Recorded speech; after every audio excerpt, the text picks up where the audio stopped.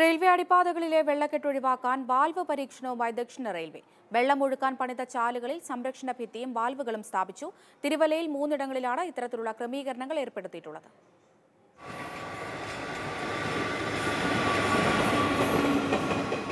അടിപ്പാതകളിൽ കെട്ടിക്കിടക്കുന്ന വെള്ളം ഒഴുക്കിവിടാൻ പണിത ചാലുകളിൽ സംരക്ഷണ ഭിത്തി നിർമ്മിച്ച് വാൽവുകൾ വെച്ചാണ് പുത്തൻ പരീക്ഷണം. പുറത്തേക്ക് വെള്ളം ഒഴുകുന്നതിന് മാത്രം തുറക്കുന്നതാണ് വാൽവ്. പുതിയ ആശയം വെള്ളക്കെട്ട് ഭീതി ഒഴിവാക്കുന്നതാണെന്നാണ് നിഗമനം. നദിയിലേക്ക് തുറക്കും വിധമാണ് വാൽവുകൾ. ആറ്റിൽ ജലനിരപ്പ് ഉയർന്നു വന്നാൽ വാൽവിലൂടെ വെള്ളം അകത്തേക്ക് കടക്കില്ല. ജലനിരപ്പ് താഴുമ്പോൾ കെട്ടിക്കിടക്കുന്ന വെള്ളം വാൽവിലൂടെ പുറത്തേക്ക് ഒഴുകുകയും ചെയ്യും. ഇതേ രീതിയിൽ പാടത്തേക്ക് വെള്ളം ഒഴിച്ചുവിടുന്ന രീതിയിലാണ് കുറ്റൂരിലും തൈമറവും കരയിലും വാൽവ് സ്ഥാപിച്ചിട്ടുള്ളത്. നിരവധി പരീക്ഷണങ്ങൾ റെയിൽവേ ഇതിനോടകം ഇവിടെ നടത്തിയിരുന്നു. എങ്കിൽ പോലും വെള്ളം പൊങ്ങുന്ന സമയങ്ങളിൽ റോഡിൽ ഈ പറഞ്ഞ അടിപ്പാതകളിൽ വെള്ളം നിറയുന്ന സ്ഥിരം കാഴ്ചകളാണ് ഇതുവരെ ഉണ്ടായിരുന്നത്. അങ്ങനെ അവിടെ പരീക്ഷണങ്ങളുടെ ഭാഗമായി ഇപ്പോൾ അവസാനഘട്ട പരീക്ഷണം എന്ന നിലയിലാണ്.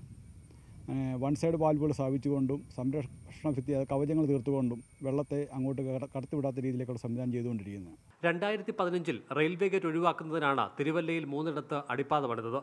ഇരുവശവും ഉയർന്നു കിടക്കും വിധം താഴ്ത്തിയായിരുന്നു നിർമ്മാണം. ഇതോടെ ഉയർന്ന ഭാഗങ്ങളിൽ നിന്ന് ഒഴുകിയെത്തുന്ന വെള്ളം കെട്ടിക്കിടക്കാൻ തുടങ്ങി. ചിലപ്പോഴൊക്കെ ഗതാഗതം മുടങ്ങി.